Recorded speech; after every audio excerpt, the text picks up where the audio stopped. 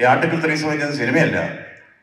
Article three seventy നമുക്കറിയാം കാശ്മീരിനെ അടിമത്തത്തിൽ ധീരമായ ഒരു നടപടിയാണ് ആർട്ടിക്കിൾ ത്രീ സെവന്റി നിർത്തലാക്കിയത് എന്ന് ഞാൻ പറയാതെ തന്നെ നിങ്ങൾക്കൊക്കെ അറിയാം.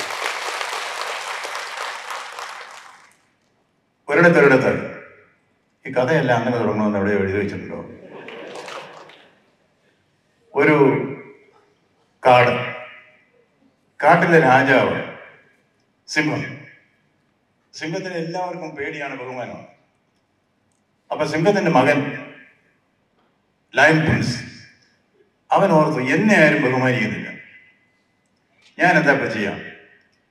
അവനൊരു പരിപാടി കണ്ടുപിടിച്ചു.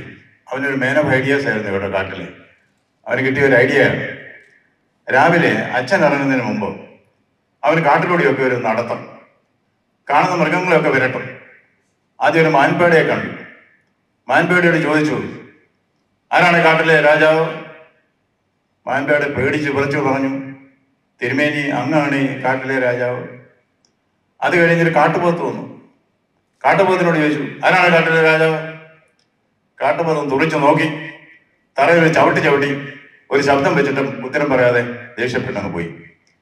അപ്പോഴാണ് ഒരൊറ്റ ചിഹ്നം വിളിച്ച് തുമ്പിക്ക ഉയർത്തി ബഹളം വെച്ച് വരികയാണ്.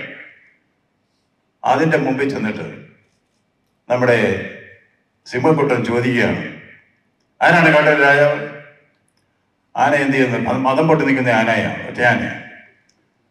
ആന ഇവനെ തുമ്പിക്കയിൽ ഒരു ഒറ്റ ഏറ് വെച്ചു ഒരു പാറയിൽ അടിച്ച് ചോര വന്ന് ചട്ടി ചട്ടി വന്നിട്ട് ആനയോട് ചോദിക്കുക ഈ ലയൻ പ്രിൻസ്.